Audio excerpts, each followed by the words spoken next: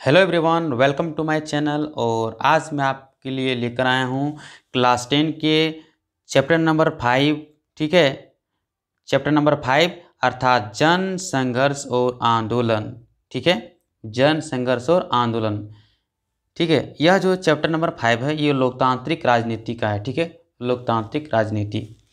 तो आज हम लोग क्लास टेन के लोकतांत्रिक राजनीति का चैप्टर नंबर फाइव अर्थात जन संघर्ष और आंदोलन का एक बहुत ही विव्यायी क्वेश्चन करने वाले हैं।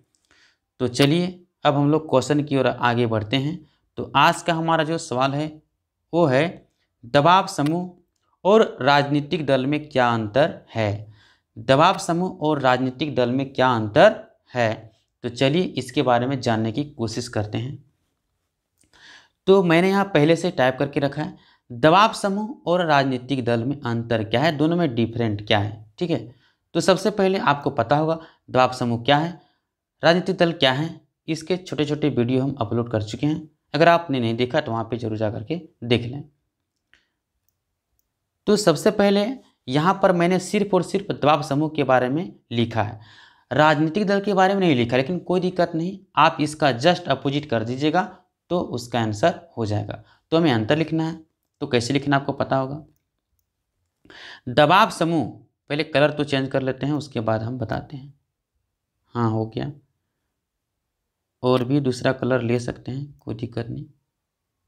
ग्रीन भी ठीक ही दिखेगा। हाँ चलो चलेगा। है सबसे पहला जो पॉइंट है, दबाव समूह में केवल एक नेता नेतृत्व करता है। कहने का मतलब ये है कि अगर हम बात करें, एक हमने ले लिया रफ पेज। तो आप कॉपी में ऐसे एक डिवाइडर लाइन दीजिएगा, जो दो बंटवारा करेगा। ये हो गया दबाव समूह, ये हो गया राजनीतिक दल, ठीक है? एक हो गया दबाव समूह और दूसरा हो गया राजनीतिक दल।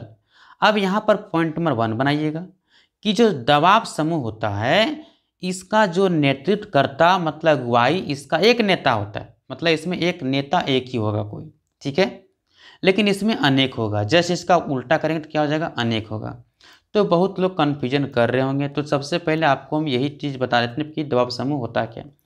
तो दबाव समूह बेसिकली एक संगठन होता है। चाहे वो मजदूर संगठन हो, चाहे वकील संगठन हो, चाहे कोई भी संगठन हो। दबाव समूह क्या है? एक संगठन होता है, जो अपने लक्ष्यों को पाने के लिए क्या करता है सब, है ना?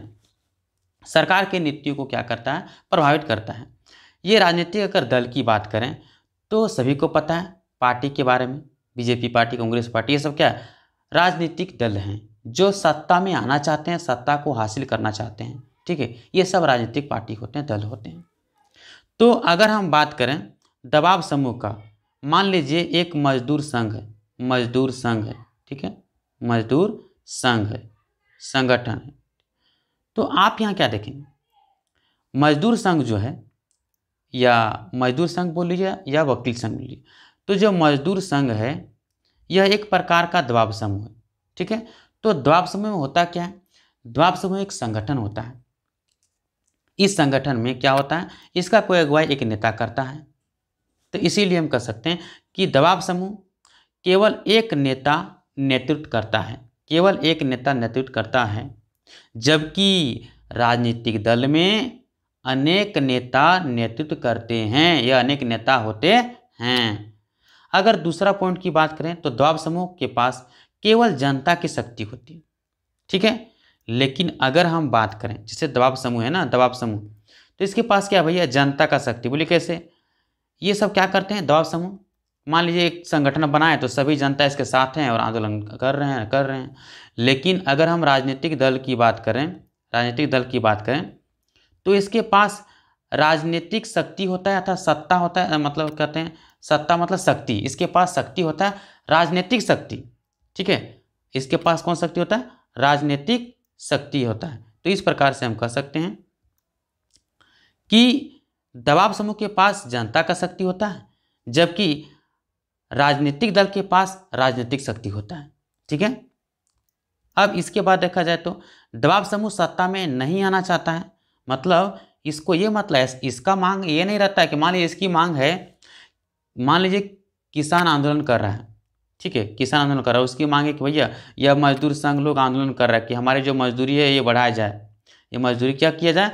बढ़ाया जाए, ठीक है? मान ली नरेगा के मजदूर लोग एक जो एक संघ है और मजदूर संघ का चल रहा है, उसमें उसका कहना है कि हमारी जो मजदूरी है वो कम से कम एक दिन में तीन सौ रुपया किया जाए।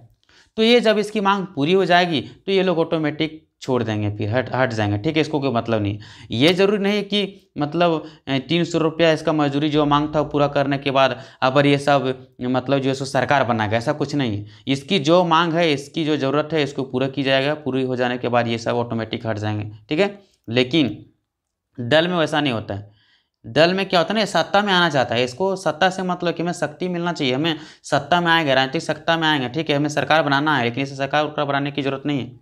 तो इस प्रकार से दबाव समूह सत्ता में आना चाहता है मतलब ये राजनीतिक में आना चाहता है, इसको नहीं आना चाहता है और राजनीतिक दल जो होता है ना, ये सत्ता में आना चाहता है, ठीक है? मतलब सरकार बनाना चाहता है। इसके बाद अगर देखा जाए तो इसमें दबाव समूह एक छोटा संगठन होता है, छोटा संगठन मजदूर संगठन तो छोटा संगठन है ना?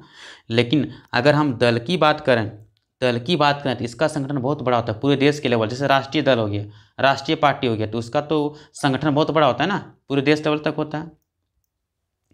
इसके बाद देखा है दबाव समूह का नाम, का काम सरकार की नीति को प्रभावित करना। दबाव समूह का काम क्या है? सरकार की नीति, अगर कोई नीति ऐसा है कि एक ही समूह के हित में है और दूसरा समूह या दूसरा जाति, दूसरे धर्म को लेकर नहीं, एक ही धर्म, एक ही जाति, एक ही समूह के हित में अगर कोई नीति आ गया है और दूसरे धर्म या दूसरे जाति, दूसरे लोगों के हित में नहीं है तो वो सब विरोध करेगा ही ना। तो ये नीति को, है ना, प्रभावित करते हैं दबाव समूह। ठीक है? मान लीजिए, हम एक एग्ज़ाम्पल ले लेते हैं। कि किसान की बात करते हैं।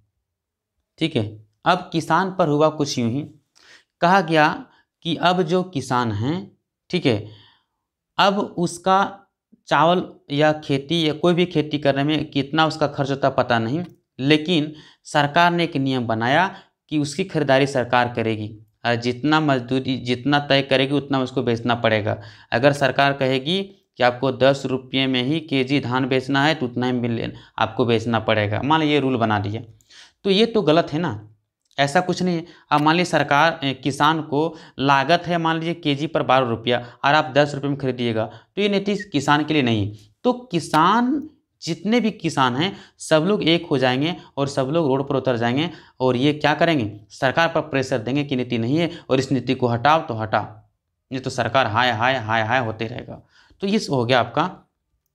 इस प्रकार से हम कह सकते हैं कि दबाव समूह क्या होता है? सरकार की नीति को प्रभावित करता है इफ़ेक्ट करता है। लेकिन राजनीतिक दल राजनीतिक दल सरकार की नीति को प्रभावित नहीं करता है। तो चलिए आई होप आपको समझ में आ गया होगा कि आखिर जो दबाव समूह हैं, ठीक है, ये राजनीतिक दल, ये दोनों में अंतर क्या है?